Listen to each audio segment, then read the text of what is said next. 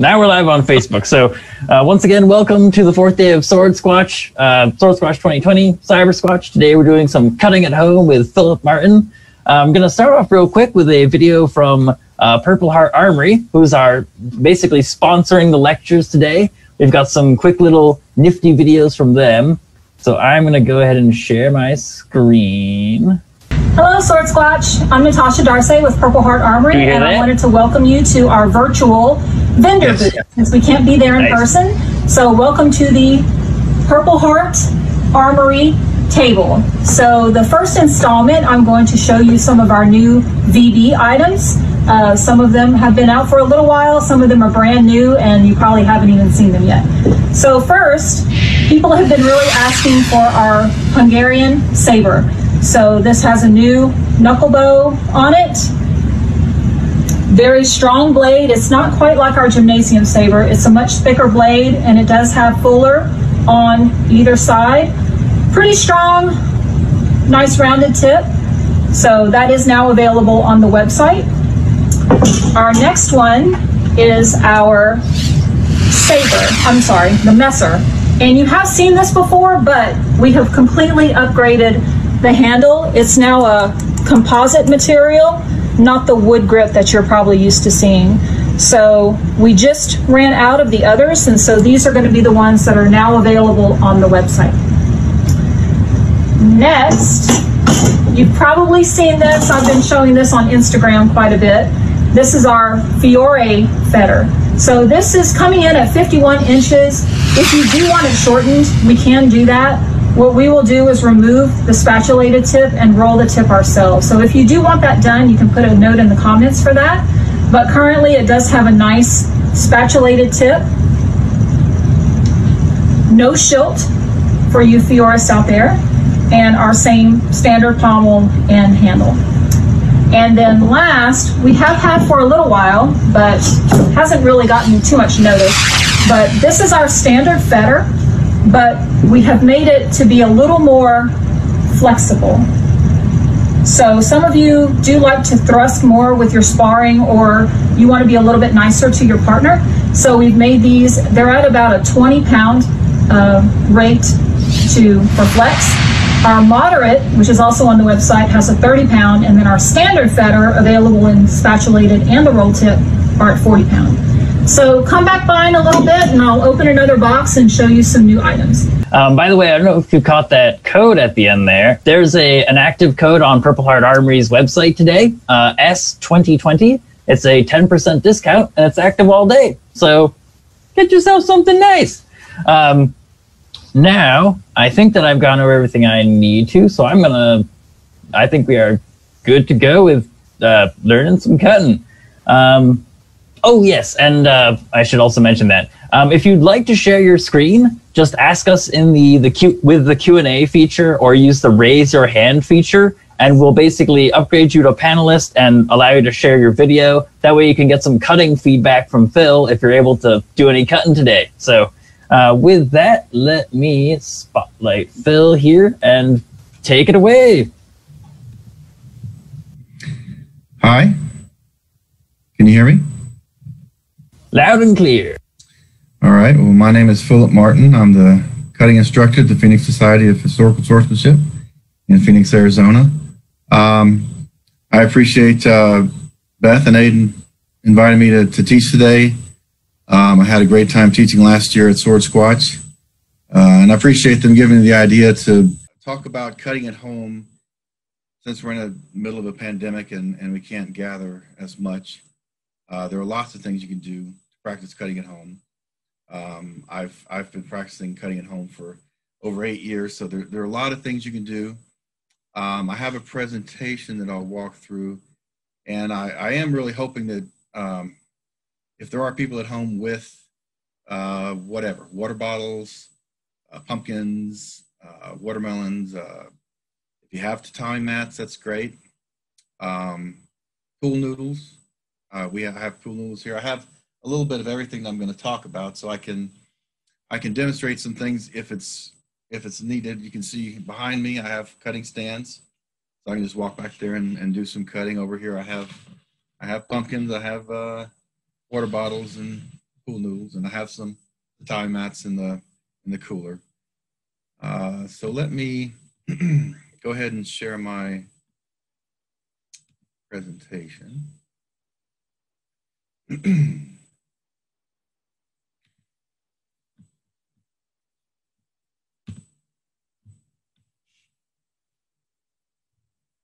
Let me know. Can you see that? Uh, yep, that is looking good. It looks full screen. All right. So, yeah, the topic is is cutting at home. Um, if I can advance the slide here.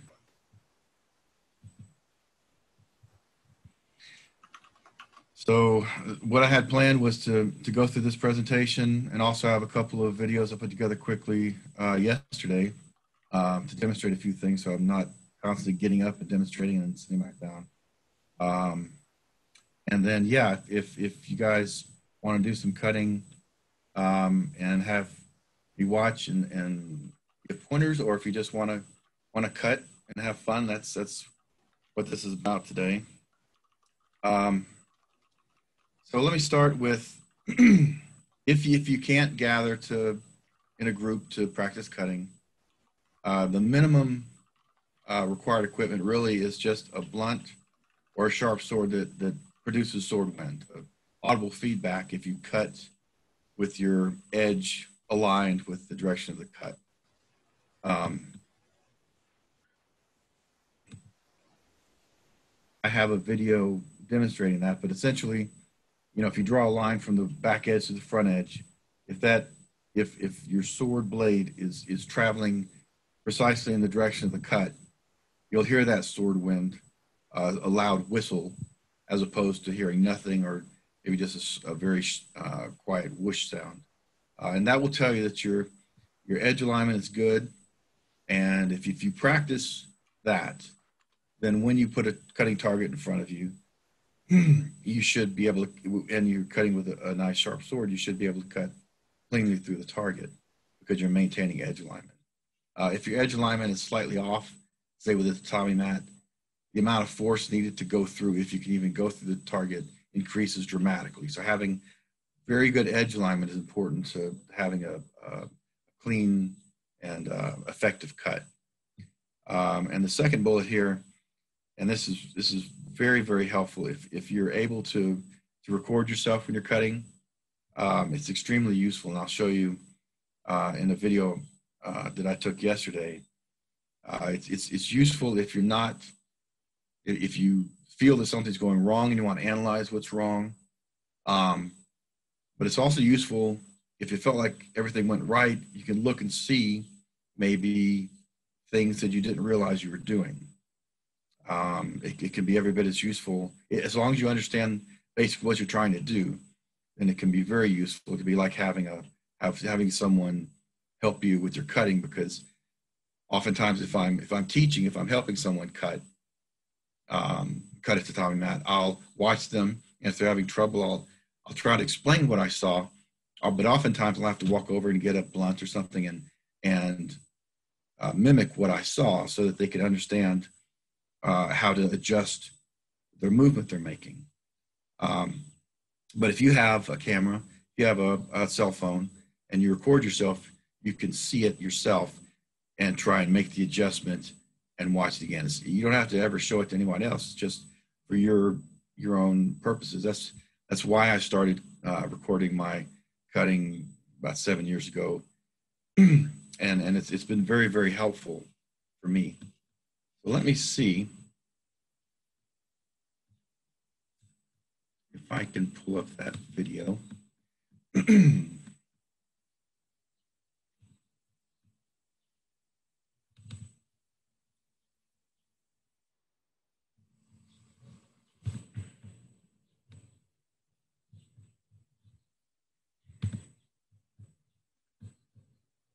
Okay, so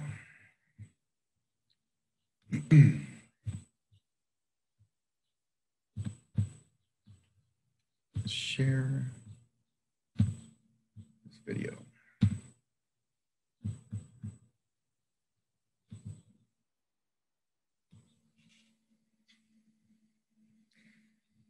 So if your cut is well aligned, you should hear a whoosh like that.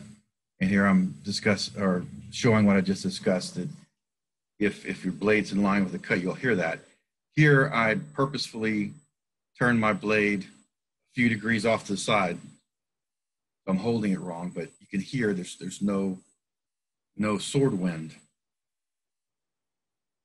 But when it's well aligned and you have a sword that produces a decent amount of sword wind, you can hear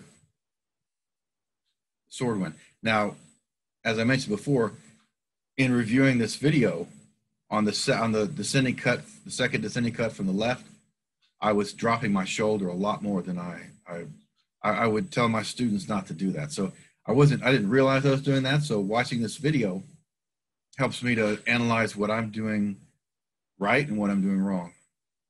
And it's it's something. It took me all of uh, you know five minutes to record that, so it it, it was uh, very valuable. It can be very. Uh, say, say, Phil. Sorry to break in here. Um, yeah. It looks like the sound was off on that video. Uh, when you're uh, sharing your screen, yeah, you have to do the same thing I did. Uh, basically, excellent. in the share screen options, there's a uh, share computer sound, and then optim- uh, right under share computer sound, there's a optimize something something. Let's see if we can. Let's see if we can do it again. Yes, want to hear that yes. sword wind? That's right. It's. don't want you to take my word for it. I want you to hear it. Uh, let's see.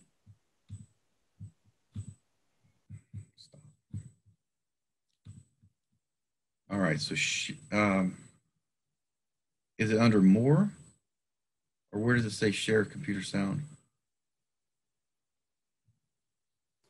Uh, so once you actually share your screen, uh, I go ahead and share and then oh, pause okay. it. And then when gotcha. you go up to the um, basically the bar at the top, then add some some options about sound and whatnot. That's what I had to do for the uh, the Purple Heart thing. All right. So, so yeah, now now there should be like a top. It's back to the beginning. Okay, I see. I see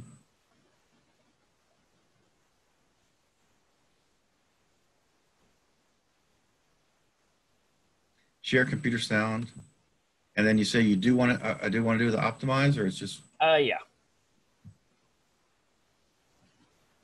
Now we should be able to hear it. Okay.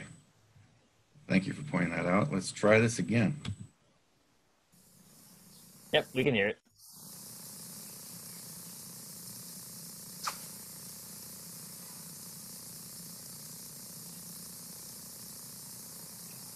Yeah, so I'm going to rotate it, the grip in my hand, so I'm holding it at a at an odd angle, so it's not not aligned. There's really no sound to that.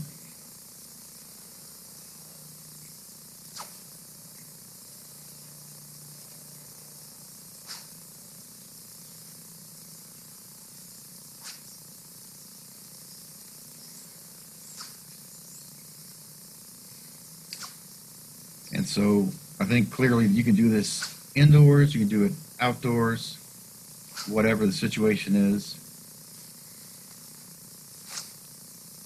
If you're indoors, of course, make sure not only do you have room to do it, but there's no chance of anyone walking into the space where you're practicing. Uh,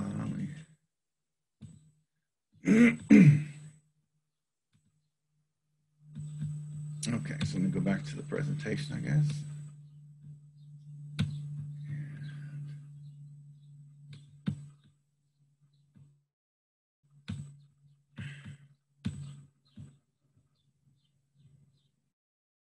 Okay, can you see that? Um, it's doing that thing where it's showing us the uh, the full the thing on the sidebar. I think the way you, sh- uh, you shared it earlier. Um, okay, let me try again.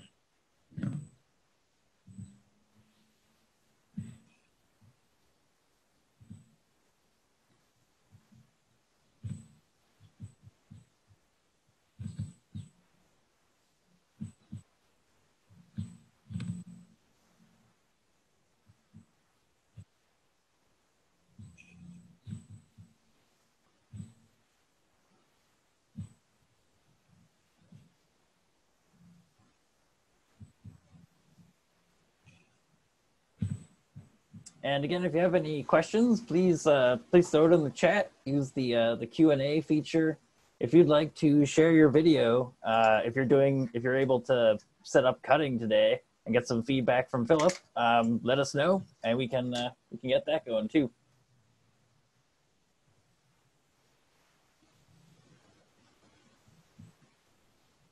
There we go. That looks good. Okay. All right. So yeah, that's if if you're. I tried to think about you know all of the different scenarios that people would have trying to practice cutting at home. So when I first started uh, cutting a little more than eight years ago, I was still living in an apartment. So that makes it limits what you can do, but you can still do a few things. Uh, the first thing that I was cutting indoors was was pool noodles. You can cut pool noodles inside. Uh, it doesn't make a huge mess, and the pieces that go flying are just light pieces of foam, so not a huge deal. Um, let's see, and I, I, made the comment here that definitely wherever you choose to cut, um, make sure that not only do you have room, but but that there's no chance that uh, your pet dog might walk in or someone might actually you know, come through a door and have a bad day. So with pool noodles, uh, you can cut them indoors or outdoors. Um, there, there are, are, a number of things you can do with them that are, are useful. Um, uh, cutting pool noodles will be easiest with a, a, a, very sharp sword. Sharp, not only shaving sharp, but having a, a fairly thin edge, uh, fine edge. Basically, the more force needed to cut a pool noodle, the more likely it is just to, to flop over because it's it's very uh, soft and flop over pretty easily.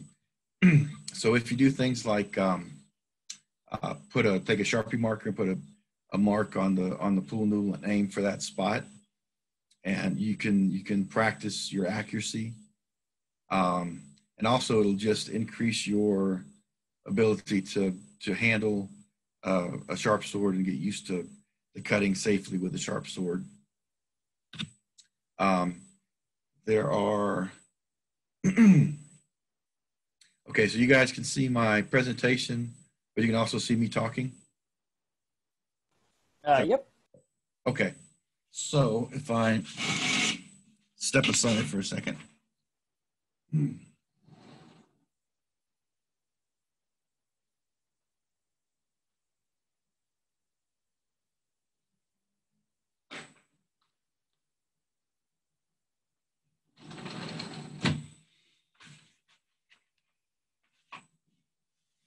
There are uh, regular pool noodles that are about two and a half inches in diameter. Uh, this is what people usually cut. Um, and all the comments I just made earlier apply to that. There are also thicker pool noodles that are more like the diameter of a, of a tatami mat, more like three and a half or four inches. And um, these require more force. Um, but they're also they're fun to cut if you have a nice sharp sword.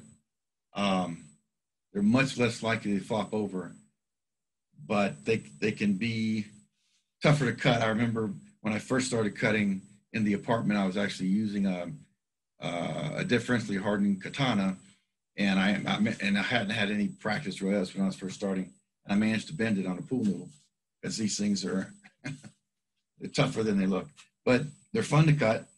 Uh, if you have a, a good sturdy sword, uh, you can cut either side of the pool noodle. And like I say, if you put a, a mark on there, you can you can work on your your accuracy. Um, uh, to some extent, you can see the trajectory of the cut if you have a good cut, whether or not it was at the angle that you want, and so forth. So that's an option that you can do indoors if you don't have the ability to have a, a backyard or some other open space to cut in. Um, let's see. Yeah. So one thing that we did last year at the uh, the cutting tournament at Swordsquatch, we had rope cutting. Um, and really, it's it's you can look at it sort of similar to what I just described with the pool noodles. The rope is not difficult to cut. It, I think it was it was rope like this, about maybe quarter inch thick rope, so it's not terribly difficult to cut. But it it's uh, it helps you work on the accuracy and um, the speed of your cut. If you if you hang this from, I don't know if you can see, there's a heavy bag stand behind me. Um, that's what uh, uh, Matthew used, uh, Matthew Roach during the the cutting tournament last year. Uh, if you hang this and then put two pieces of, uh, let's say, electrical tape, make a target, and then try and aim for that target. And if, if this rope is just hanging, or if there's like a light weight on the bottom, just keeping it in place, you have to do a quick cut to be able to cut through, or just push the rope aside. And uh, so you can test your accuracy while delivering a quick cut. and obviously, this is, it's just going to produce little pieces of rope or or some strands of rope. So you can that's something you can do inside as well. Um, and there are other things I've seen people do, but I haven't done it myself. Um, hanging a newspaper from a coat hanger with with uh, uh, clothespins, and then cutting the paper. But uh, I haven't done that myself, so I can't really speak to it. Um, let's see. Now, if you have the ability to cut outdoors, then you know the number of possibilities increases quite a bit as far as cutting targets go. Um, if you have a back door or a backyard area or some open area to cut in, but you don't have a sharp sword, um, as long as you have a blunt sword um, let me grab one.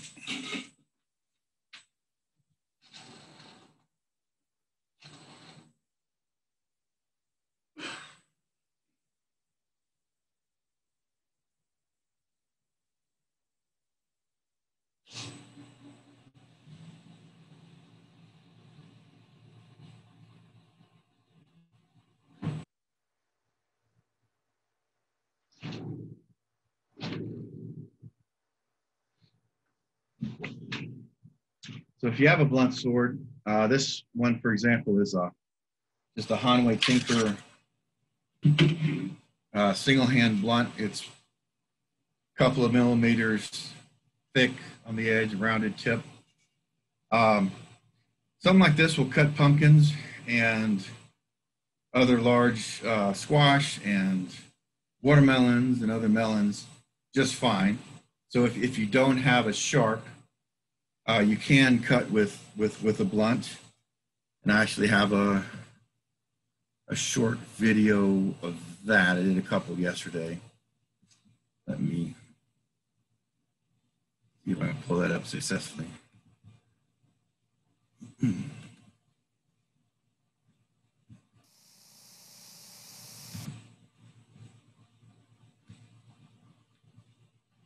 Yeah, but we've got sound on, it sounds like. Oh, you heard it? Okay. Oh, and okay. Good stuff. Let's let it go then.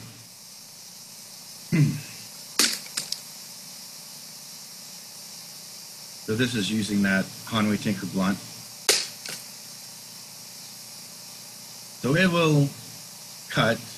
I guess I should put up air quotes cut because it doesn't have a sharp edge, but it will cut rings through a pumpkin. Um, if you have an unsharpened uh, windlass sword. A lot of those swords, you know, they, I don't think they can ship sharp swords from India to here, so they come unsharpened, and those cut pumpkins and watermelon really well also. And watermelon, they're fun. they explode once you cut them. Mess on the floor, but now in this video, I um, I used a my cutting stand. Let's see.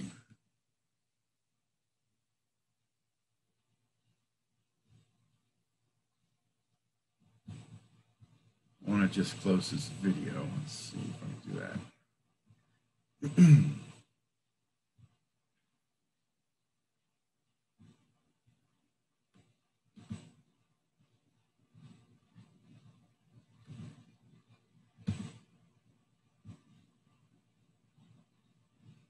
Okay.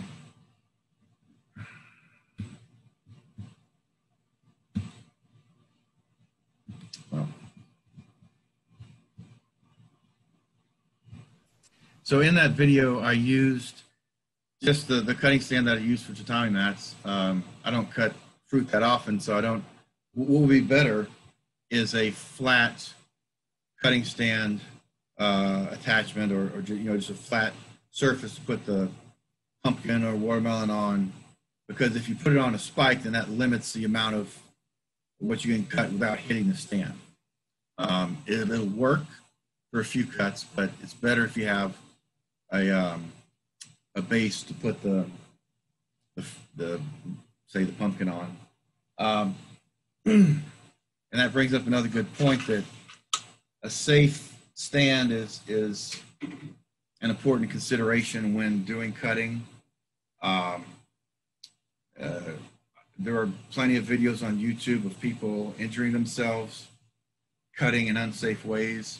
I, I remember a video of someone cutting a watermelon but I don't know if he just wants to secure it or what the deal was. But he put his hand on top of the watermelon and tried to cut it with a machete, and just the, the rind of the watermelon caused it to come up and go right into his hand. And I saw another one.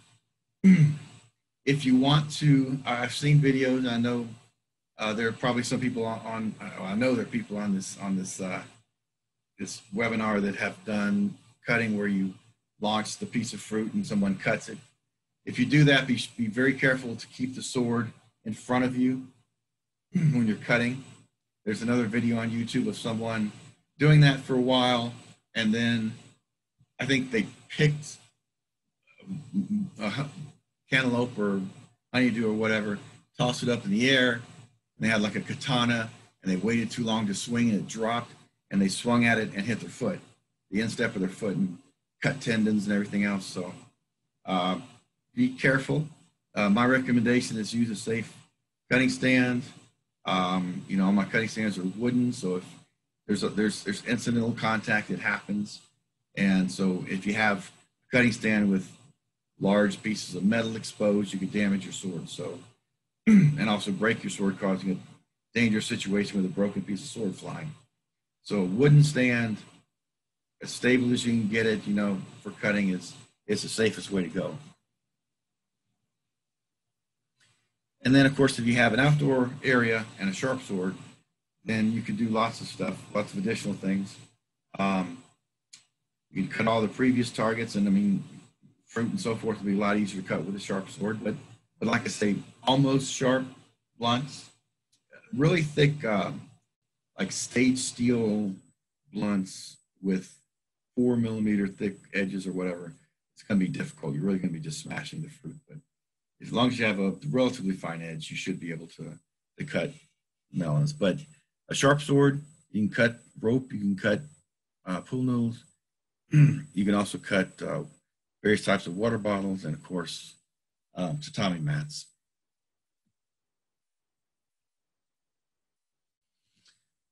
Um, I'll talk a little bit about water bottles, but I'll also mention that uh, if, if, you're interested in, in getting the most out of cutting with water bottles.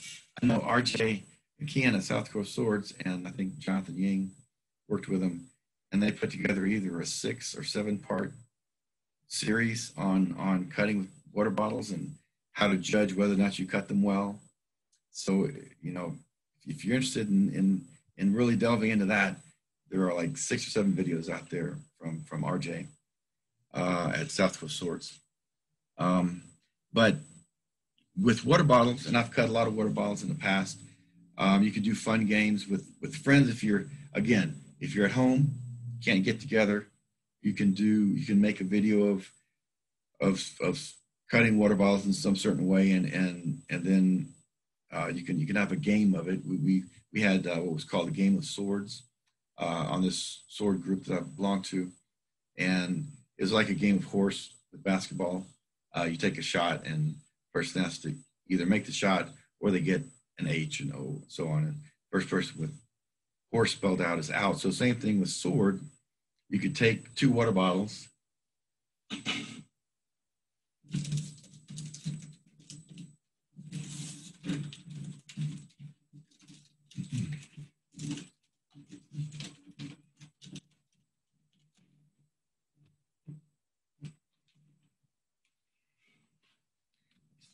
back a little bit and stack them and and say the feat is to do a double cut you know through the water bottles. And if if you make it then the other people have to make it, or they get an S. And then if you do another one, they don't get it, they get a W. And first person to sword, or once you get to sword, you're out of the game. So things like that are fun to do. And if you're doing things like that, you can improve your your targeting, uh, the speed of, of, of cuts, accurately and very quickly delivering a cut and following up with another cut. Um, and you could practice your targeting. You could put marks on it where you want to hit, or I mean, I think part of one of RJ's videos was okay, aim for this part of the bottle because it's the most efficient place to cut it. So you can work on your aim as well. Um, water bottles are not particularly hard to cut in general. This is a Dasani, which is a pretty good consistency for water bottle for cutting. Some of the store bought brands are so soft you can almost twist it and bend it, and it's almost like a bag of water with a cap on it. Um, those are very easy to cut. These are slightly have slightly more rigidity, so they're a little bit better to cut. And there are soda bottles or two liter soda bottles. and I think the toughest that I've come across are the 20 ounce Gatorade bottles are, are pretty tough to cut through. If you if the other water bottles are, are become very easy to cut through, try try a 20 ounce Gatorade. They're pretty tough. So, um, and like I say, you can stack them for for multiple cut combinations. We had some where we were stacking them three bottles high. Uh, have you tried any while we're on while we're on bottles? At a, I was wondering if you've tried any. Uh, um, I saw somebody do some cutting that looked pretty good. Like they honestly got about you know I think they got about three cuts into this bottle, and it was a what was it? Uh, like an automotive fuel bottle. So it was it seemed like pretty good thick plastic.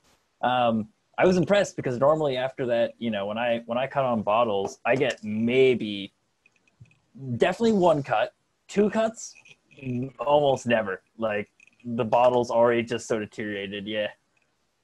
Right. Yes. Um, yeah. So if you if you use um, bottles like that with stiffer plastic, you can get certainly get more.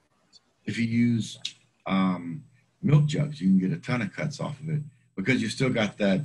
As long as you're cutting near the top, you still got a large volume of water holding in place. Um, lighter water bottles is more difficult to do. But now, as you mentioned that, we did have some feats where you cut, you do a rising cut, which would knock the upper part into the air, and then your descending cut would need to sever the airborne part. So there, yeah, there are lots of things you can do, and and yeah, thicker um, detergent bottles, uh, like you say, bottles for oil or bottles for um, that sort of thing, have with the thicker walls you can get more customs for sure. Yeah. Nice, thank you. So the let's see the last thing I'm going to talk about is um, tatami mats. Um, of course, if you have the ability to to cut tatami mats, it'll it'll give you the best feedback on whether or not your cut was a good quality cut. It's going to require the most effort. It's going to cost the most. You're going to need equipment or need you know a, a, a container to soak mats in and, and space to drain the mats. Um, but if you if you go to that trouble, the the feedback is really really good. Uh, tatami is just about it's the reason we use it in tournaments is it's pretty much the best um, tool for for gauging uh, the quality of your cuts that, that we have because it's it's it's you're cutting a bunch of individual stalks and so each, so every little bit of the cut will be recorded in, the, in you know, the, in, in the, the, the length of the, the um, the fibers. So if you if your cut turns at all, you, will be able to see it in the cut. Also, the the tatami mats are nice, uh, dense uh, cutting material. and what other nice thing is is the mats will also test whether or not you have a good a good grip on your sword because tatami mats are, are constantly trying to turn your blade. Um, the blade's trying to follow the path of least resistance, and that path is just straight down. You could have a big, thick roll of tatami mats and just cut all the way down to the cutting stand with one cut because you're not cutting into the fibers. You're just cutting basically the little white uh, cotton string that's holding the mats together. Whereas if you try to horizontal cut on a big, say, four mat roll or something, it'd be very, very difficult. So if you're cutting at a 45 degree angle, the mats will try to pull it down, or if you're cutting up, it'll try and pull the sword up. So it's, it's very useful also in, in determining if you've formed a good grip uh, on the sword. Uh,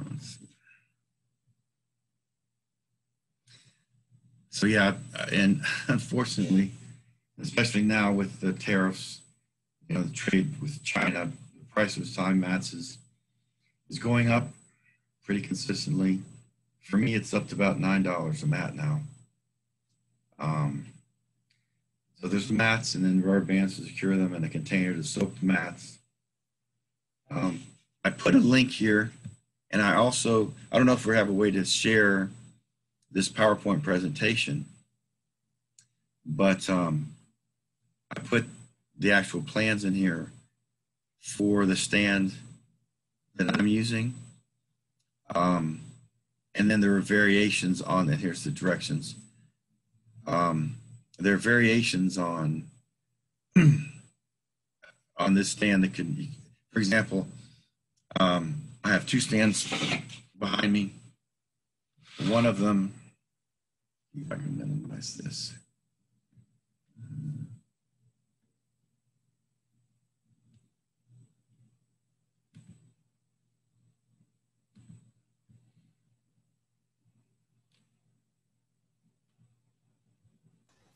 Uh, if you go to uh, if you stop sharing, then it'll it'll maximize your your video again.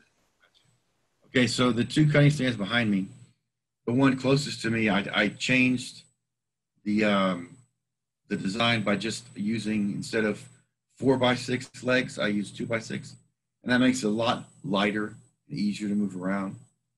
Uh, the four by six legs are very very it gives a very sturdy base.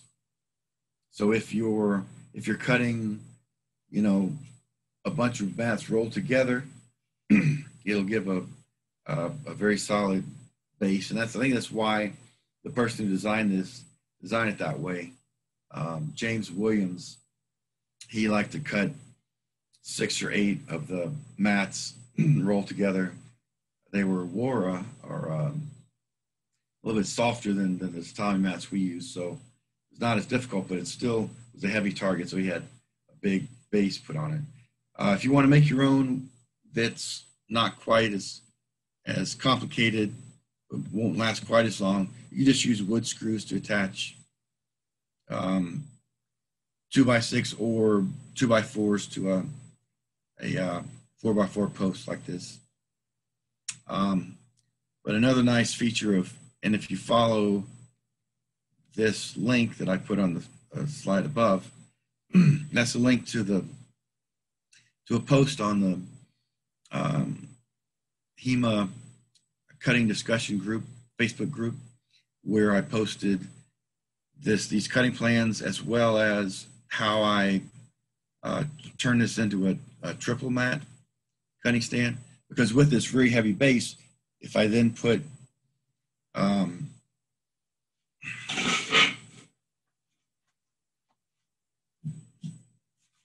I then bolt on two more uprights, then you can turn it into a triple mat stand to cut two or three mats at the same time.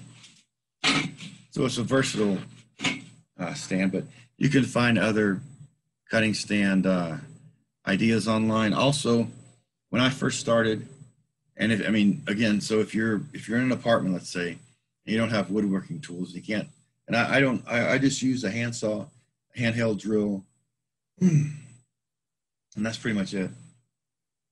Sandpaper. I mean, to put those together, I let uh, Home Depot do the the major cutting to get it all to the right size when I buy it.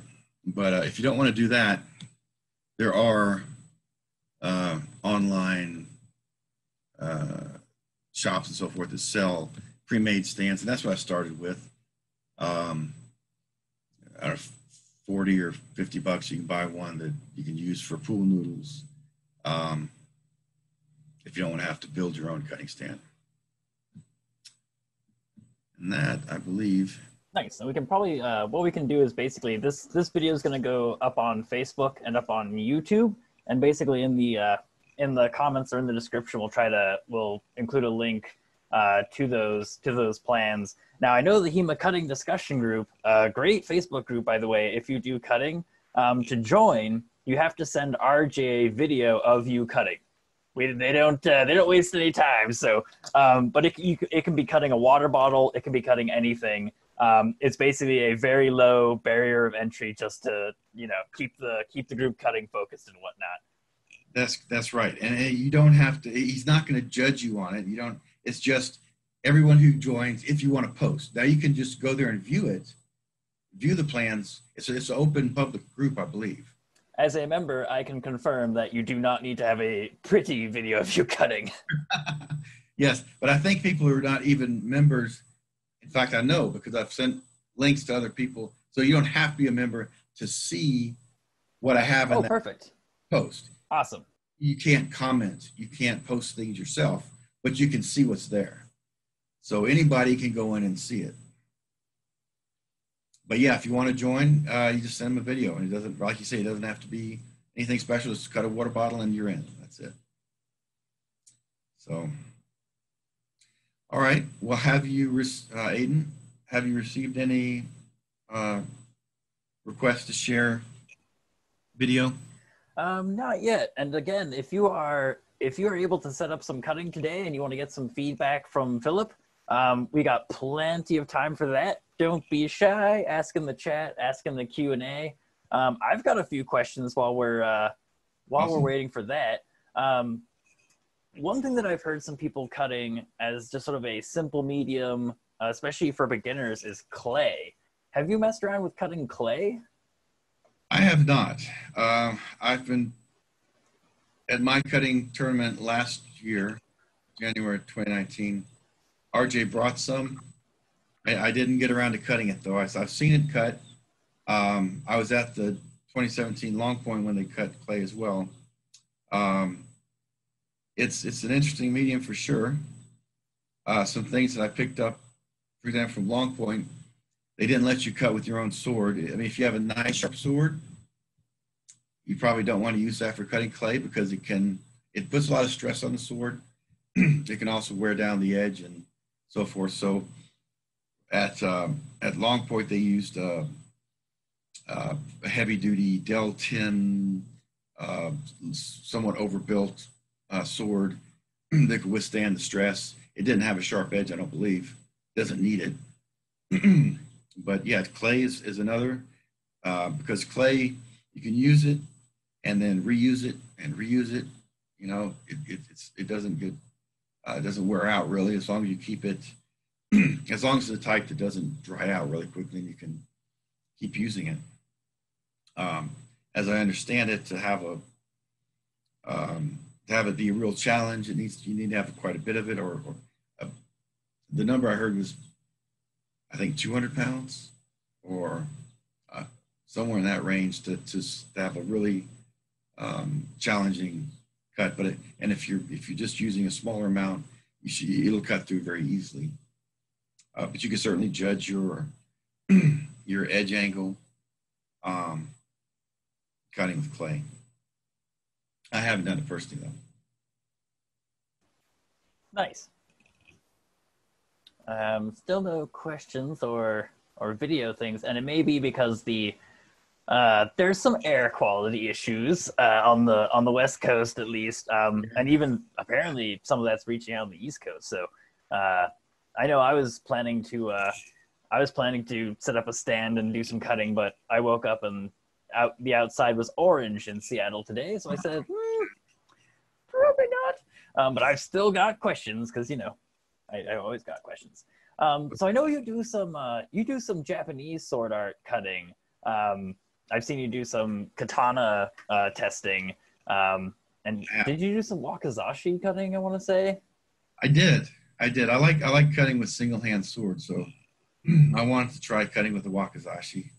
Uh, what I like is I I haven't had formal training other than a friend of mine is a is a I think a second degree black belt, um, and he showed me some of the ways to draw the sword uh, and sheath it properly, um, and just how to how to wear the hakama and all the rest of the stuff but I haven't had any training on cutting. I, I've just just practiced a lot, and that's that's pretty much the, the how it is for for all of the cutting that I do. I've just I've just practiced a lot, and tournaments have been very helpful because they you go in knowing what they're going to be judging, so you, you work on trying to improve. So I I, I like um, I enjoy cutting uh, using the the Japanese curriculum because they have a curriculum. They have a set of defined cuts. Um, and yeah, I, I recently did uh, a wakizashi cutting. Um, I could put that up if someone wanted to see it. It's few minutes long. Sure. I'm just. Uh, looks like somebody on Facebook is is uh, is trying to share a video, so I'm I'm just giving them the link. Um, Awesome. Love to see it. All right, let me yeah, just just need to- get this to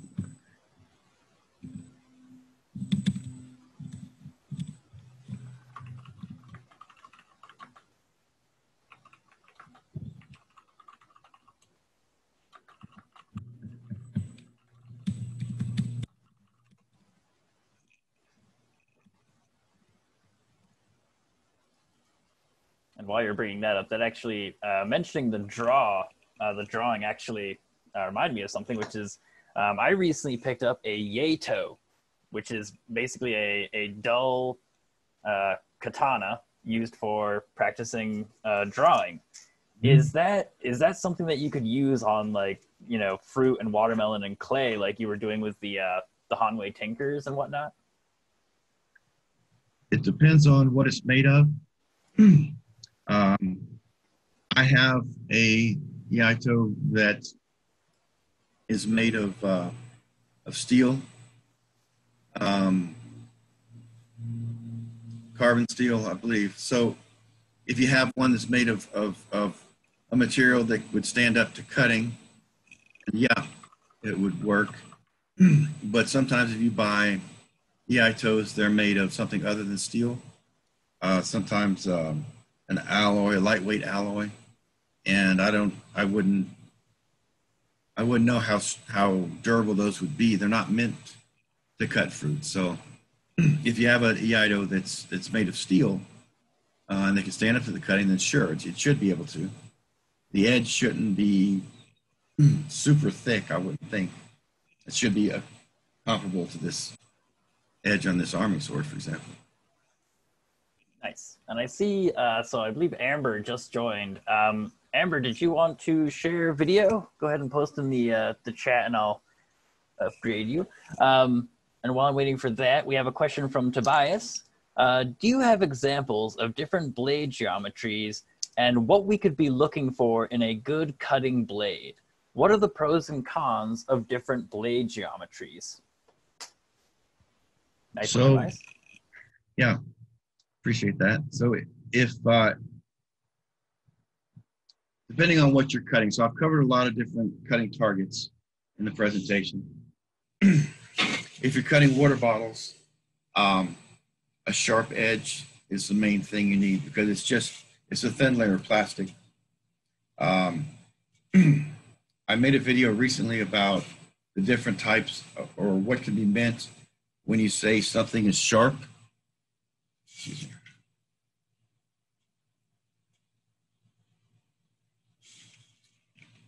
You can have,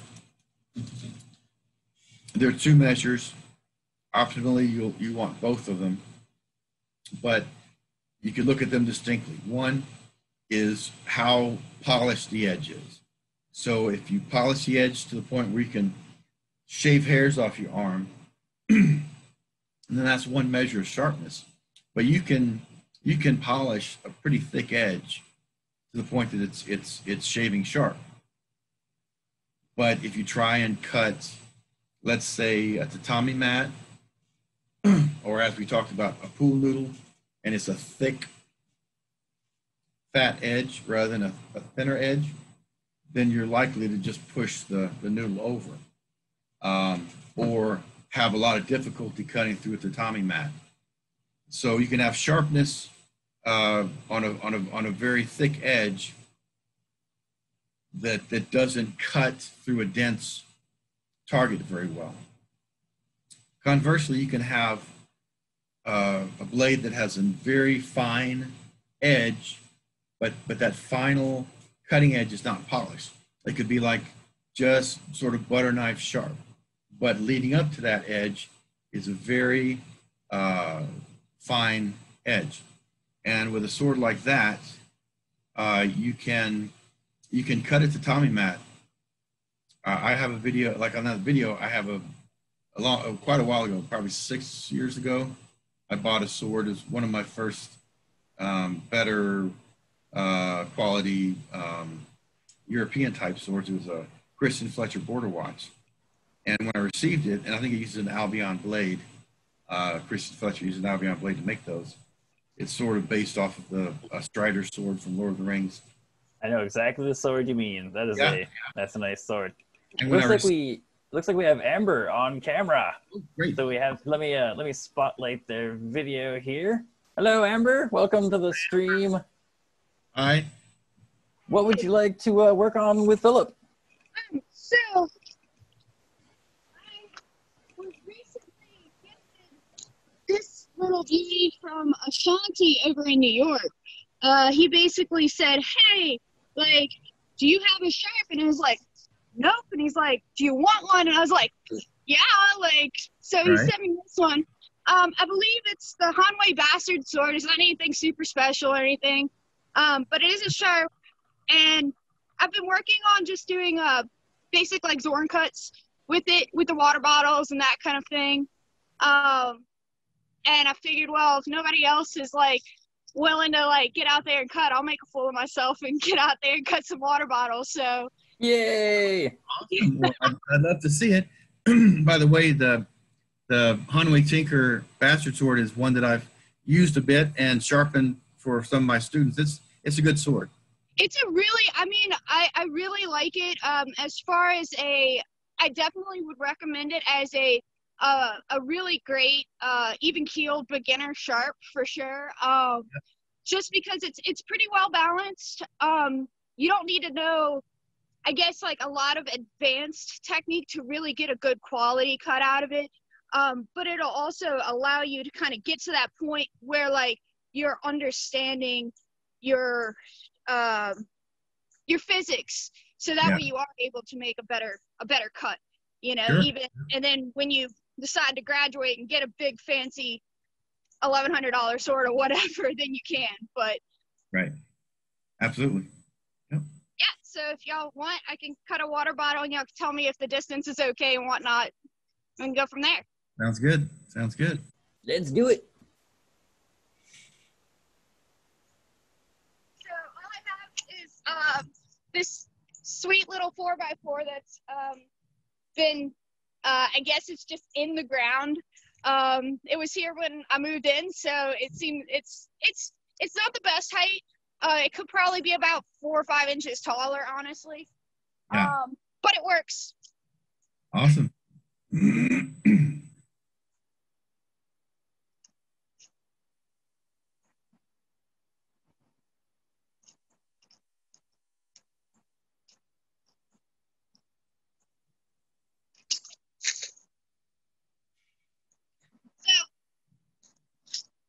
I don't know if y'all can. yeah. That's a nice. Seems like a fairly sharp sword. Did you? did someone sharpen it for you, or? Um, Ashanti said that he sharpened it. Okay. Um, I haven't touched it since I got it. Okay. Um, but I've been having some issues. Let me go put this in a safe spot. if can show you guys.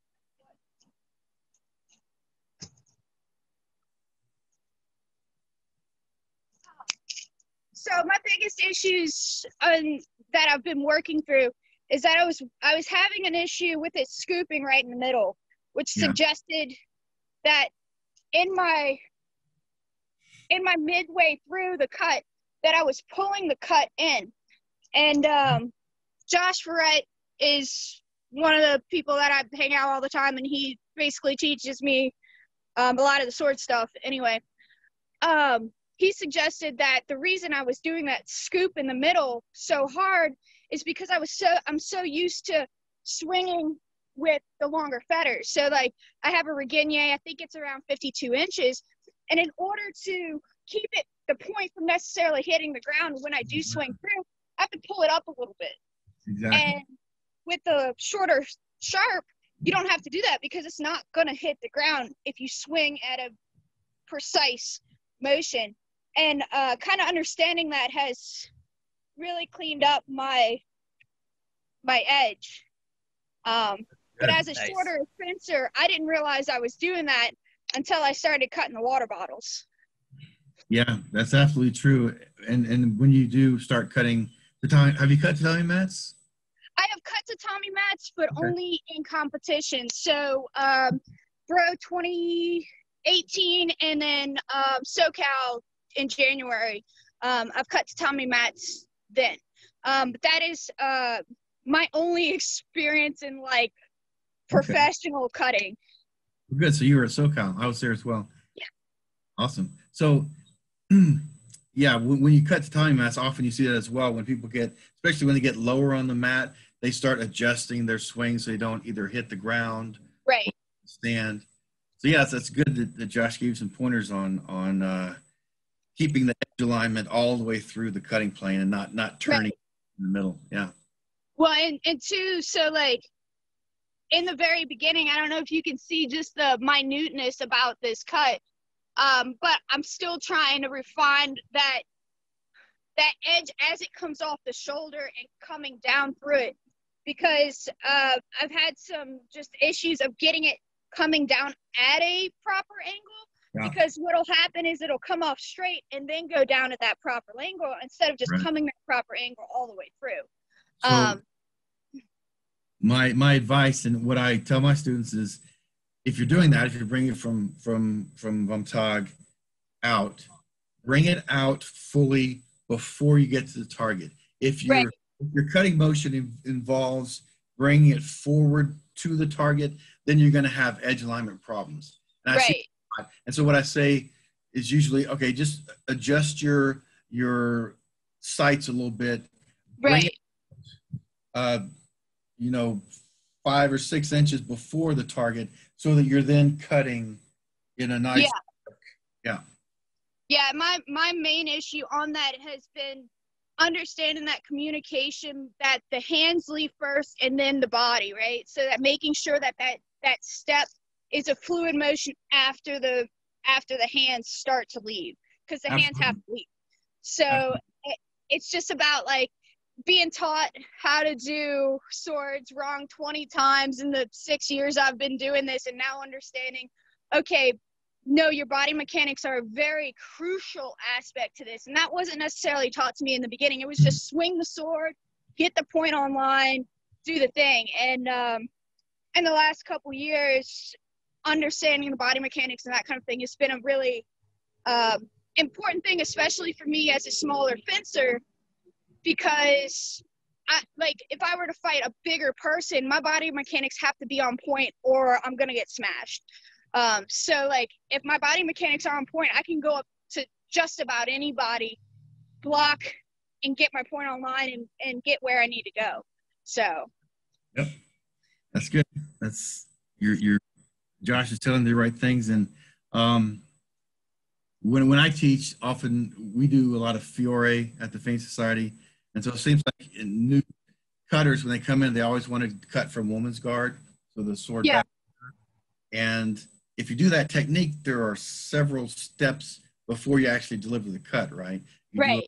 Step with your your left foot, and then you change the angle of the cut. And so if you start turning your hips, engaging your core, when you first start moving the sword, it's going to be ugly, right? Just like Right. you lead with the with the hands, get it out there, then engage your core and cut.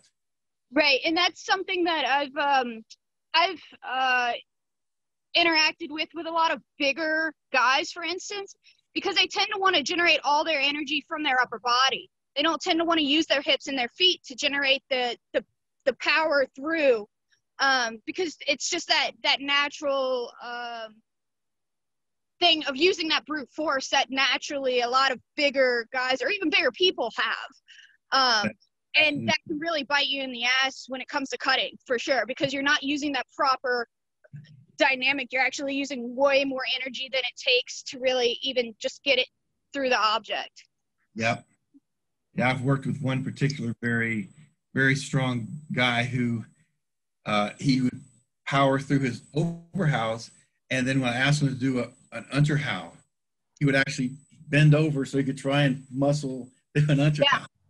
That's, that's important to teach them to use their core, not their well arm. and, and that'll also affect um, motions that also go into other motions because if you're overpowering that that first zorn you can't come back and rotate back around to get into different guards because you've already kind of swung way too far out to bring it back in so having that control to just really get to the point and get to that aspect you're using less energy and you're more precise as well You're saying all the right things. That that's that's something that I've been uh, recently trying to teach some of my students who are pretty good.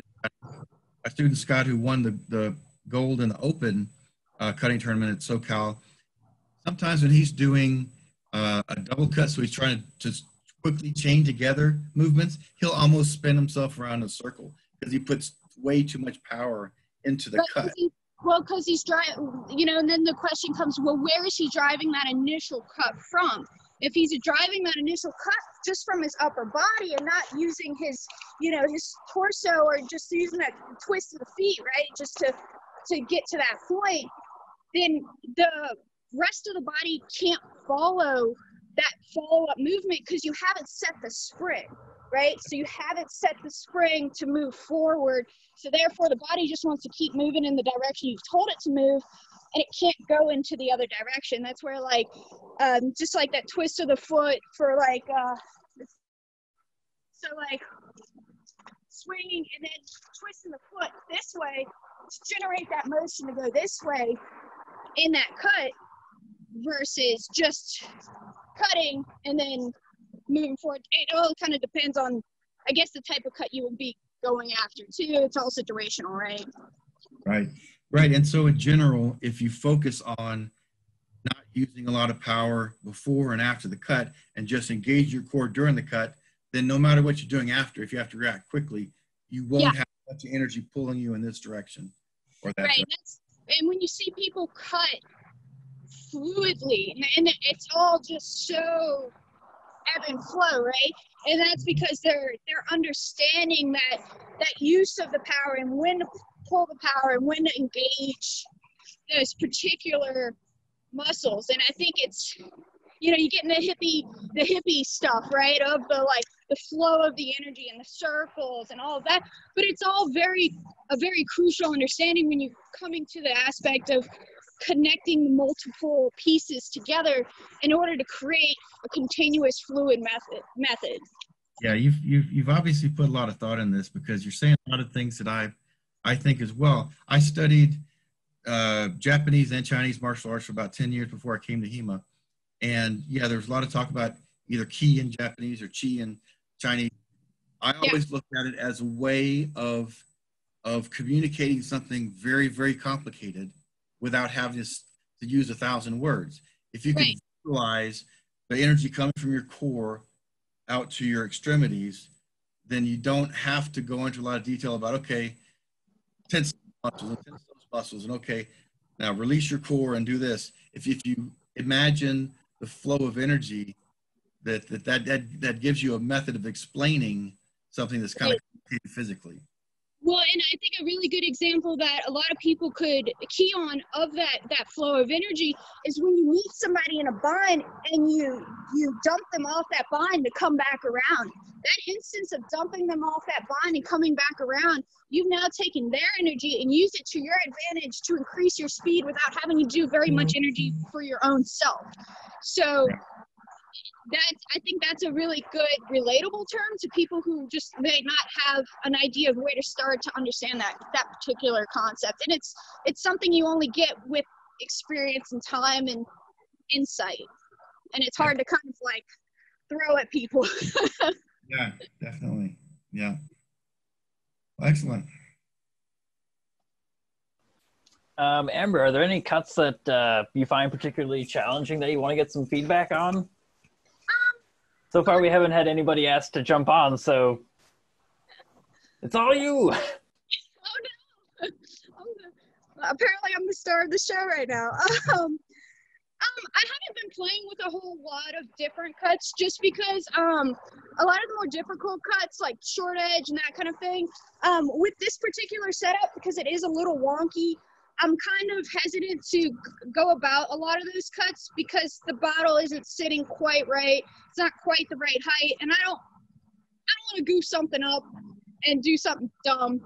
Um, but like I've had more challenges, and, and I'm sure this is true with a lot of other people too. But it's a really odd concept that I am more true on the left side a lot of the times than I am from the right side because I'm so used to doing the right side that the left side's like, oh, you've taught me these lessons, I've learned it, but the right side's like, uh-uh, I learned this wrong. Like over here, I'm gonna do it whatever way I want to. Um, so it's you know it's it's really a funny um, a funny thing. Like I can throw an unter from the left side and have almost a perfect cut. I come from that right side and it's all the bottles across the yard. I'm like, this is dumb. that's that's definitely true. And if you if you practice uh, arts where you're potentially holding a single hand weapon in either hand, like I, I also trained in um, uh, Filipino martial arts for a while while I was training him because one of our guys also ran uh, a FMA school, and so I had and I still have a couple of Filipino weapons, and I find that when I go to cut with my left hand, well, I, I, would I would do cutting in this end to him and see, wow, your cuts with your left hand are much better than with your right.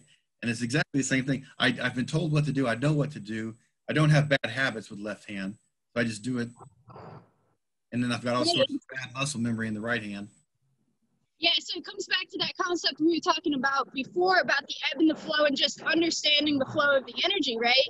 Where you know, the left hand's just going with whatever you're kind of telling it to do with it, right? It's like, um, no, I think I'm gonna go over here, and it's like, no, you just need to go here because it's it's something that your brain has kind of gotten used to, like one, two, three, four. You go in this method, and that's not always um, the best thought process, you know. Um, it's complicated for such a simple thing it's it's extremely complicated. And i think once you get into like um the levels that i think a lot of people are, are starting to get to with how hema is developing and how um, schools are developing and teaching styles and and access to resources and that kind of thing it, it's getting to a point where like it's an evolution of all you know but it all goes together. So understanding that concepts from other martial arts also are an influence and understanding on just say for cutting for instance you know and understanding those body mechanics are just like understanding boxing mechanics you know that that just that energy to get to the point to get that first right? Right. Yeah. Uh, frog dna i guess you call it. Yeah. martial arts yeah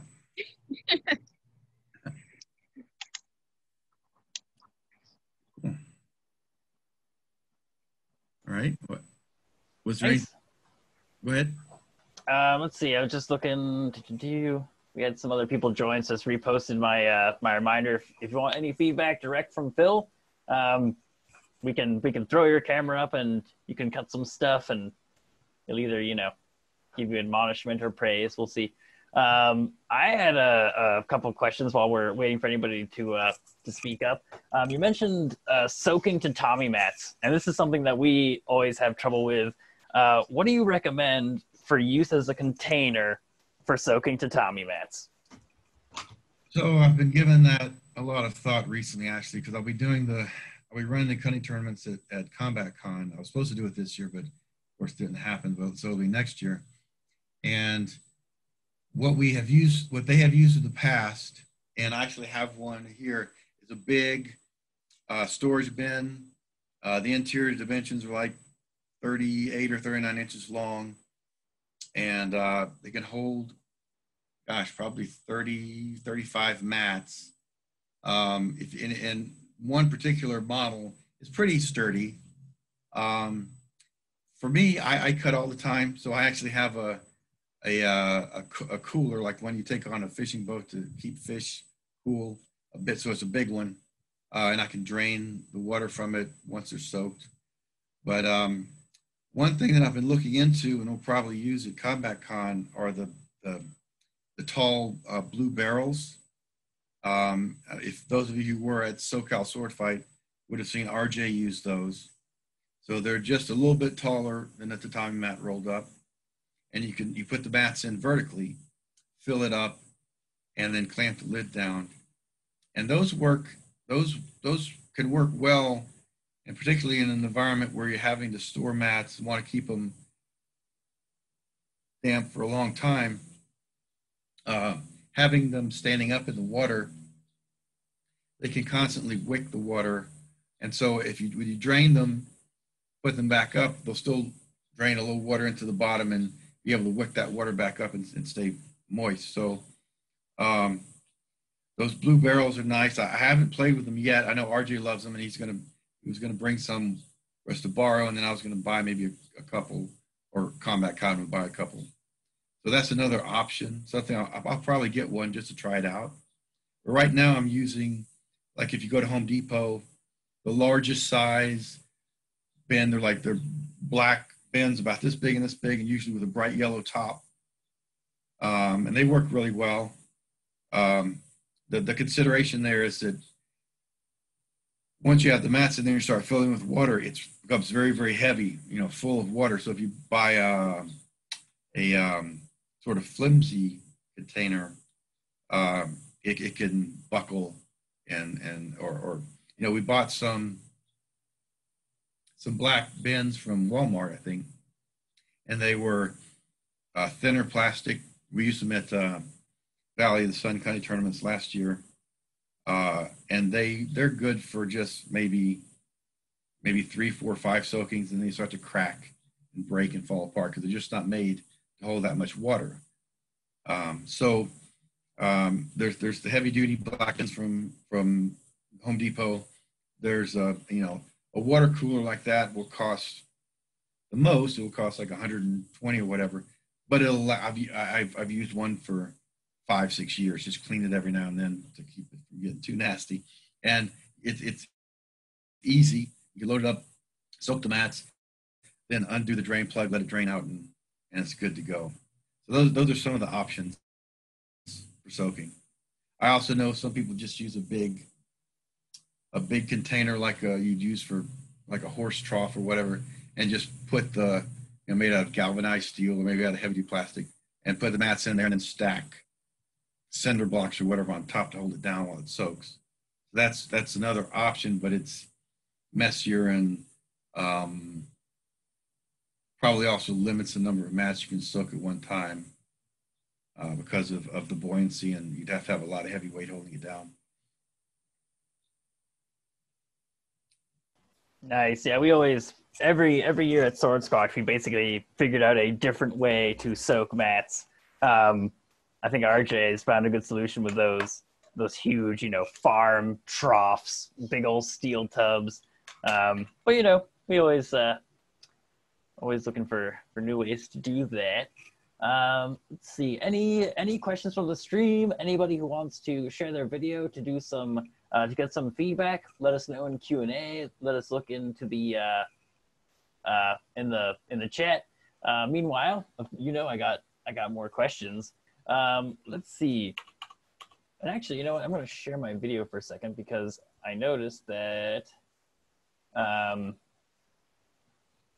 when we had Amber on, they were using a uh, Hanwei Tinker Bastard, and I have the the same sword with some fancy stuff done to it. I 3D printed a waisted grip and put a different thing on it, but um, also lucky enough that I live uh, right near Michael Tinker Pierce, and he actually sharpened this sucker up for me. So this has got a this has got an edge from the the man himself. It's a decent. It's a little little short on the grip, but it's not bad for a starter. Um, did the exact same thing with the Hanwei Tinker longsword. Um, again, lots of customization going on. Got it sharpened by Mike. Always good time. Um, but yeah, when it comes to when it comes to those sort of budget cutting swords, what's kind of like your your go to or favorite? I know that um, Hanwei Tinker comes up a lot. Uh, Cold Steel comes up a lot. Are there any other brands, or do you have you know a good a good starting cutter? Well, yeah, my first sword that I used in competitions was a uh, Cold Steel hand and a half, and I, I won my first uh, bronze medal, my first medal with that sword at Combat Con. Um, it's a good sword. Uh, the only issue, it usually comes very sharp. You don't have to have someone sharpen it for you. but uh, one issue is when you're buying swords at that price point, the quality control can sometimes not be so great. So you get you might get one that's perfect, like mine. I've used it. It's still good. I still use it sometimes at the club uh, for people to, to cut with. After, gosh, I got that from, I guess actually bought that from RJ in January of 2006. So it's been four and a half years. it's still going strong. Um, the Hanwei Tinker can work well if you uh, if you put time into sharpening them. I've never had one that really cut well out of the box. Um, most of them have really done the best after I've gone to trouble with not only using the belt sander but doing some hand sanding to to refine the edge. As I was as I was mentioning before, you can have edge sharpness, polished to where you can shave hairs off your arm, but if the edge is too fat, then it's gonna have trouble cutting through the die mat. So, so hand sanding with a, a sandpaper wrapped around a large metal file, that will help uh, maintain the bevel exactly where you want it because the file won't flex. If you use a rubber sanding block, it'll flex to, to it'll bend on on the blade when you're pushing down, and even a piece of uh, wood, if you're really bearing down on hardened steel, will deform. So if you want to keep that that edge bevel right where you want it to be, wrap sandpaper around a, a, a metal file and use that to, to bring it down. And that's the best uh, outcomes with Hanwei Tinker uh, blades that I've had. I've gone to the trouble of hand sanding as well. Um, Valiant Armory used to be a place to go. And I, I, I guess sometimes they have some of their older models in stock. It seems like right now they're focusing on their handmade swords that they do in house, which they charge as much as Albion's or Atrims or Arms and Armor. But if they have uh, swords in stock, some of those are good. Um, I won the advanced single hand cutting tournament at SoCal this past February using a Valiant Armory Monarch. Um, so, uh, and it, it, cost me maybe 500, 550, something like that. So, sort of mid range, um, but half the price of an Albion. Um, let's see, I, I you know, um, uh, Purple Heart Armory, uh, Natasha, they have cutting swords from uh, VB cutting swords that I, I don't know if you saw the site up, but I think they're they're they're affordable as well, like maybe four hundred dollar range, something like that. They're competition cutting swords. Uh, it seems like there are, are other people trying to. I know, I know. Cold Steel just came out with something they're calling their competition cutting sword for maybe three hundred dollars. um, we'll see how, how well that one cuts. It looks like a um, very similar to the Alp or the uh, the windlass Arbedo, um, with just longer handle because Arbedo has a really short handle. Nice. And yeah, I do. I did just bring up the uh, the Purple Heart uh, page. This is a good time to remind everybody that they're doing a 10% discount from 9 a.m. Pacific time to 9 p.m. Pacific time today. So lots of time to shop on Purple Heart. And looks like yeah, they've got a competition uh, sharp for 350, which is again for uh, for an entry level sharp, that's pretty good. That's uh, I think that's that's a little pricier than a, a Hanwei or a Cold Steel, but I think the the quality you're going to get out of that is and the the sharpness of the blade. Uh, guessing that's going to be better out of the box for sure. Yeah, and and Natasha's been sending those as loaners at uh, at various competitions. I know there was one. There was one at SoCal Sword Fight, maybe not this year, but the year before, and some people used it. Uh, I think somebody won a medal with it. I have to go back and check. Uh, but uh, yeah, there. That's it's a lot of sword for that that much money. Heck yeah. Um, yeah, and I know that Albion does have uh, they have that that one line of slightly cheaper swords, um, but they're still, you know, I don't know what Yeah, those are called. Yeah, Line, uh, they have like a, a great sword of war, and they have a, um, yeah, those are the ones. and then they have a Type 15. Really tapers down to a really distinct point. Um, and yeah, those I I I don't know that you would get those any faster than another Albion though. If they have them in stock at a table somewhere, then you can just buy it. But otherwise, you know, the, the wait times. Yeah, and just a quick look, those are still around 600. So getting away from the entry level uh, pricing, but yeah, yeah. Um, I was just trying to think of some other uh, weird, well, not even weird, but just you know, uh, brands that have been coming out selling uh, selling European swords. I remember. I one of my students brought in a couple by uh, by Ronin Katana. So they, That they is exactly who I was going to bring up next. Yeah, they, they mostly or they focus on Japanese swords, but they have a European line. Um, they have a variety of different swords. I want to say they even have a, a, a uh, like a Swiss saber or a you know, European saber, a two-handed saber. So yeah, they have they have a, a line. I think they might have a Viking sword as well. So yeah, oh yeah, I, I just popped over to their site and I do see they have a kind of saber Kriegsmesser looking thing. Um, Right. Now my brother has one of these, and I will definitely say, nah, the sharpness out of the box, nah, not not great. Um, the the handle wrapping was really what got me on those. I am not a fan of their their grip wrapping, um, but we'll see what the we'll see how those how those go. It'd be I like you know I'm just always interested in having a competitive market for uh, for good old sharp sharp swords. Um, yeah. As you mentioned, that guy not only spent a lot of time sharpening the blade, he also rewrapped the handle on both of his.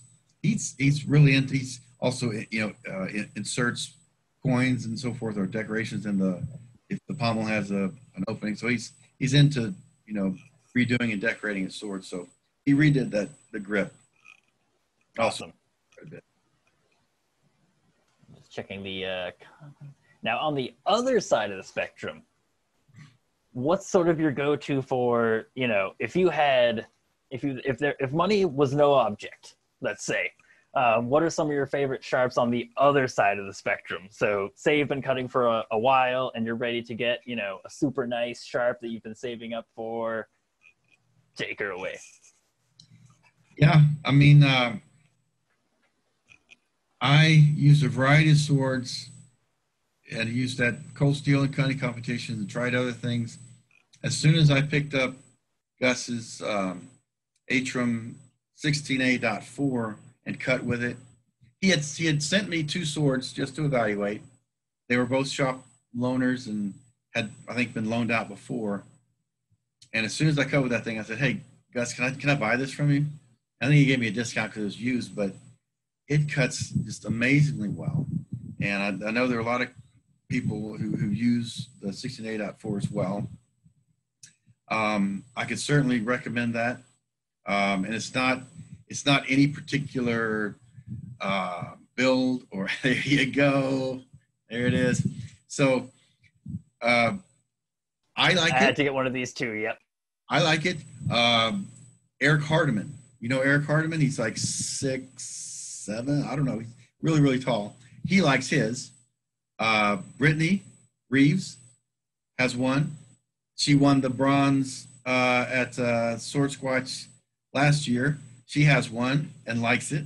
So it's it, you can be any. It, it's not uh, any particular uh, size or or you know build of person. It seems like everyone that I've let cut with it likes it. Now, some people really like their, you know, Principes or their um, Alexandrias with the really wide, really thin uh, cutting edge, and they cut well. There's there's no doubt about that. but they're also about a pound heavier, uh, and so I, I I have a I actually have an Alexandria. I like it. Um, but in competition, I've, I've basically found the sword for longsword cutting. I, I, I'm not looking anymore. You know, it, it, it, it, it I can take that sword in any competition and feel, you know, confident with it. Um, arming swords, I'm still, still, see, with arming swords, with single hand swords, it sort of becomes more um, specialized. I want to have one that's good for everything. And when I really started racking my brain last year, getting ready for this year's SoCal sword fight, because I knew that RJ was going to have a single hand cutting competition for any single hand sword. So you could bring an army sword, you could bring a messer, you could bring a, a, a military saber, you can bring a um, a side sword, you could bring a rapier if you wanted to, and you, to compete. And when I was really trying to figure out what would do the best, I ended up going with a sort of shorter, stocky, cut and thrust sword that that that uh, Valiant Armory Monarch, and it, it it was just good enough to win. The silver and bronze were taken with Messers, um, and I think I won by the smallest possible margin by like half a point. So uh, I still am looking um, for one that I would call the best all around arming sword. Um, I, I, have arming swords like the the Atrim uh, 10A.5 that if I were just given the task of cutting a single tatami mat, that's that's the mat uh, the the sword I would choose. It it goes through incredibly easily, cuts through mats like they're made out of butter. It's it's and it's it weighs one pound fourteen ounces, so it's it's super light and fast and cuts really well.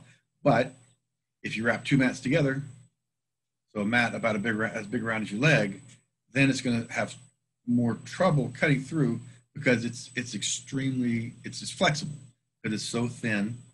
Uh, you can grab the tip and flex it, flex it pretty easily. So if you're going through a mat that's trying to turn your blade, it becomes becomes more of a challenge. Um, so actually, in the end, that was that was more the the criteria that caused me to choose that that Monarch because I felt I could cut a double mat with it, and it could thrust really well. And RJ's competitions, and I don't know if you've noticed this or, um, but some cutting competitions, in particular RJ's uh, at SoCal Sword Fight, has started to incorporate thrusting quite a bit more. It's almost as important now as cutting, in, in especially in that in that single hand competition. It's like every other thing you're thrusting through a mat to hit a target, and then you'd have to cut. I have been seeing that. Yeah, I yeah. like that. That's a nice, that's a nice addition. yeah. Oh, so I have a, I have a question. Yeah. Oh, go ahead, Justin. Um, yeah, I was just going to mention the question since I, I, unofficially took it. Um, yeah, so there's a question here in the chat. The Battle Cry by Windlass Steelcrafts and John Clements. Any thoughts? I haven't uh, cut with them. Now that you mention that, this guy in my club who fixed up the uh, the Ronin uh, katana uh, European swords, he also fixed up one of the battle cry line where he he polished all of the the finish off. It's got, to got like a mottled sort of gray finish on the blade. He polished all that off and, and sort of reshaped the blade a little bit. Um, the ones that I've seen just right out of the box seem to have thick uh, secondary bevels, which is not great. I have handled the falchion, and it was not. It didn't handle like a falchion should handle. It was heavy, uh, sort of clubbish, uh, whereas falchions should be, because of the way they're designed, they should be thick at the base and very, very thin throughout the whole cutting area. And so they should be very quick and light uh, slashing weapons rather than heavy sort of impact weapons. Um, but having said all that, I haven't cut with a bunch of swords from that line, so I can't make many more comments other than that. Just that I have noticed that they uh, tend to have a, a, sort of a thick, a thicker edge, which you'd have to bring down if you're going to cut tatami mats. If you're cutting water bottles, as long as you have a sharp edge, as long as you polish that edge, you should be able to cut through water bottles just fine. So depending on the target, um, or if you're cutting if you're cutting pumpkins or um, things like that, it'll, do fine. If you're cutting tatami or maybe a floppy pool noodle, it might not be the best choice unless you're willing to put in the work to to refine the edge, basically to make it more fine, less um, Which is a common problem with uh, a number of European swords in the lower price range. Unfortunately, I think it, it's it's manufacturers' response to people buying them and then going out in the woods and trying to chop down trees with them. Um, and then you know if it if it takes damage because the edge is designed the way it should be designed, not to be able to cut down a tree, then they return it and say, "Oh, this is, this is not a good sword. I want money back." So they overbuild the swords, sort of. Uh, I guess you might say to the lowest common denominator. They they don't they don't make them um, for cutting competitions because someone's going to take out the woods and try and bash branches with it and cut down trees. Makes sense. Hmm. And let's see. Um, do you have any advice for sharpening tools? Um, I know you were talking about using a, an angle grinder, and I know that you know I get this question a lot. Just like, should I, you know, should I be using uh, whetstones? Should I be using a, an angle grinder? What's the what's the best way to get around uh, sharpening swords? I guess specifically for for competition cutting, what's the best way, or you know, your advice on that? Yeah, I actually haven't used an angle grinder, but I do know people who who have made. I know one guy in particular who used to make swords with an angle grinder and do everything by eye. He's a surgeon now, a practicing surgeon. Uh, so he's really good, really good with his, uh, hands and, and very precise. Uh, he lives in Germany. Uh, he's a sword maker, actually, uh, Lucas MG. But he used to do it all by hand with an angle grinder. What I use is a 1 by 30 belt sander. Um, uh, I could I could bring it out, but it, it's it's uh, from Harbor Freight. It uses one inch by 30 inch belts, so it's small. It's about this big, and I use um, a variety of belts. I mean, for something that already has a decent edge profile, I'll just use say from 400 grit up to 2000 grit belts, say 400, 800, 1200 2000 and then a leather strop to to um, to put a really fine edge and, and, leather strop to take the, the wire edge off um, the burrs off of the final edge um, there's a, an old video by Michael El, Mike Mike Edelson that um, that shows the same thing because I do it just like like he did it. Some people like to uh, put the belt sander with the belt facing you, hold the blade like this, and bring it back and forth in front. I, I don't find I have enough control with that. I like the way he showed uh, having the belt sander, the, the belt running sort of perpendicular to you. So you, you, you hold the sword, you rock back and forth and back and forth to to put the edge on. Uh, I use a, a, two by four with a, a 20 degree angle cut into it as a guide. I don't use that to to force it up against the belt to actually impose a 20 degree angle. I just put the sword on there. Okay, that's 20 degrees. Okay, bring it over to the belt and sand it that way. Um, the belt sander is like 45 50 dollars sometimes if you go on you know labor day memorial day it's on sale for, for 40 dollars so it's inexpensive the belts are actually more expensive if you buy a full set they're really good uh, 3M Trizact belts uh, i think you can find them now several places i think including amazon.com that's trizact 3M Trizact. It used to be you could only get them from Lee Valley in uh, in Canada, Lee Valley Hardware, but but I think you can get them other places now. But those work really really well um, because they they're made for sharpening, made for sharpening knives for tools. So the way that they're constructed, they don't generate a lot of, of heat, so your blade doesn't overheat as quickly. You can still overheat it if you're not careful, but it, it's much, much slower to warm up the blade. Um, and they last a long time because of the way they're made. So I, I had a set for, and I sharpened with them pretty frequently and it lasted three, three and a half years. And I think I just stopped using them because one of them seemed to be less effective, but they, they last a long, long time. Um, so that's the primary way that I sharpen. I have the belt sander, use those 3M Trizact belts to sharpen.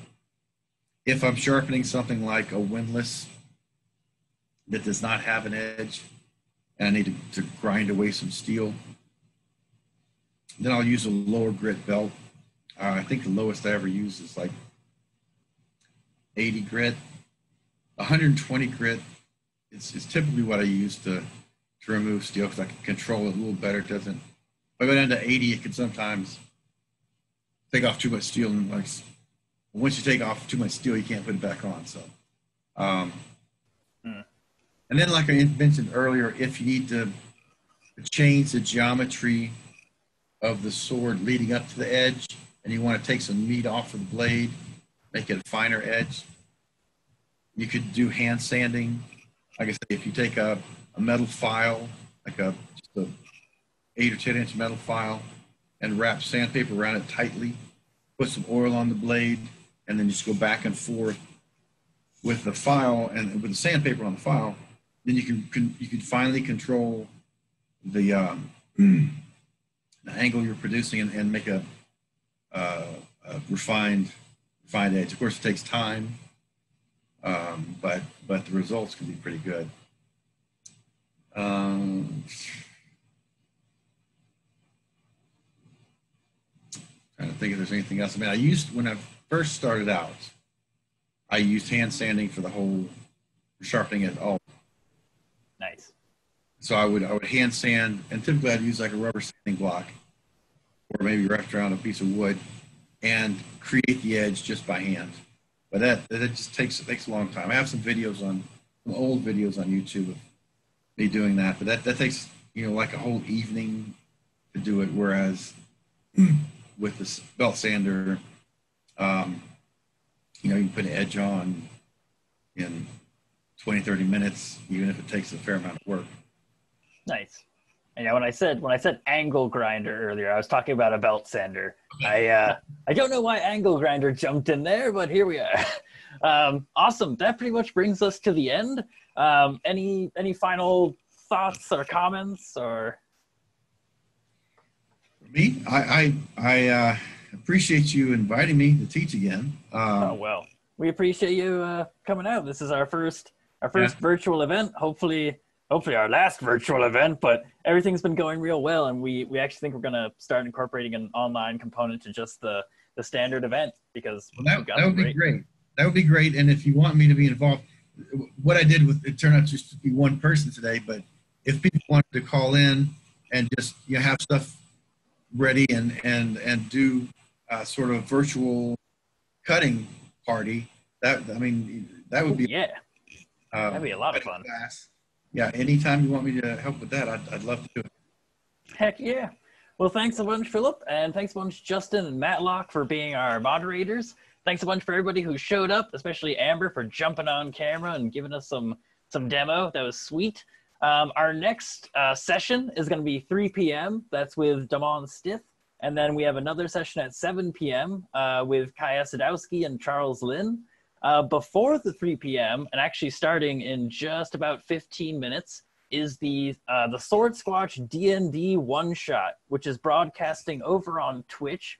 I'm going to drop a link to the uh, the Zoom chat here, and I'll also post it to uh, the Facebook comments on this video if I can find that tab in my sea of tabs. Oh, there it is.